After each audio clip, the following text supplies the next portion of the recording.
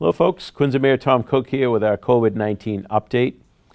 Joining me today is no stranger to you, Commissioner Ruth Jones, who's been leading the effort with the Health Department, working with the state DPH. And I know, Ruth, you have the latest stats for Quincy. Uh, maybe you could share those with us. Sure. So the total number of cases today is 647, up 20 from yesterday. Um, the uh, people recovered is 252, and that's out of that 647. And then deaths total of 59. So we've had seven more deaths, but they've been um, spread out over a few days, not all in one day. And many of those, a big portion of those, were from one of the nursing homes. Nursing homes, um, all of the deaths actually were um, older residents who had some underlying issues. So. Yeah. Well, we appreciate the update on Sure. that. And of course, we, uh, we know we're in that surge period that the uh, governor has been talking about, the uh, health commissioner at the state level has been talking about. So, um, and I haven't done any analysis lately, but we're hoping that starts to flatten. We, we, I was hoping last weekend we had um, a, a drop, a drastic drop in cases, and then it started to surge up. So I'm, I'm optimistic that hopefully we're at that point and we'll start to drop soon. So Is some of that because there's more testing being kept? I think a going on as lot well? of that is Yeah. because there's more testing available, and I think the governor had even said that on his uh, press conference today that you're seeing a rise in cases because we, we are doing a lot of testing in Massachusetts. Right. So So you're in touch on a regular basis, I know, with our state partners and our colleagues uh, at all levels of government. right. Uh, Can you talk a little bit about tracing? People are hearing about this tracing. Yeah. Uh, Maybe you could walk us through that. Sure, and it's the new buzzword, but, but to let people know, the health departments have been contact tracing for years, years and years. So anytime we get a communicable disease case, what we do is we contact the case and we have to For example, over the years, like TB. uh, TB, um, even foodborne illnesses, Okay. um, things like salmonella, that type of thing. Um, you contact the case, we get notified by the state, we contact the case, we ask the case who they've been near, um, you know, where they work, uh, who their household contacts are, and depending on what type of disease you're talking about, Right.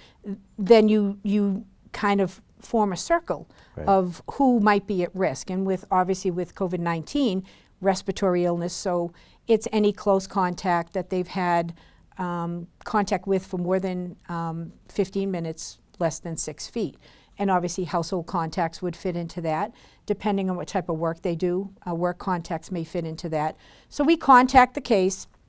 We get all the information about the case, when they first got their symptoms, um, when they got their test. Are they co- usually cooperative when it comes to this? Um, the, the majority of people are. Some Okay. people are very private, don't want us to, uh, to really say, you know, to get into their, their details. But most people, when they know it's a communicable disease, um, they'll cooperate. Okay. So we do, um, we ask them for a list of their contacts.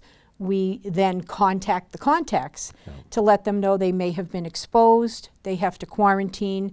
Uh, quarantine, there's all different types of quarantine depending on the situation. Right. Um, we let them know when, when they are um, out of quarantine and we monitor them.